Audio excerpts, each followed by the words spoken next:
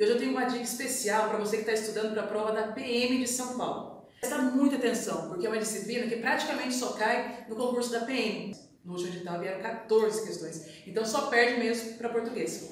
E dentro disso eu quero que você é, direcione um pouquinho seu, os seus estudos. Qual é a melhor ordem para estudar, professora? Melhor ordem para estudar é pega a história do Brasil e depois você vai estudar geografia, que você vai conseguir contextualizar aquilo que geografia está sendo pedido. Segunda coisa, já trazendo mesmo para a geografia, que está dentro dos, de conhecimentos gerais. Estudem mapas e gráficos. Quais, principalmente? Principalmente demografia e principalmente clima.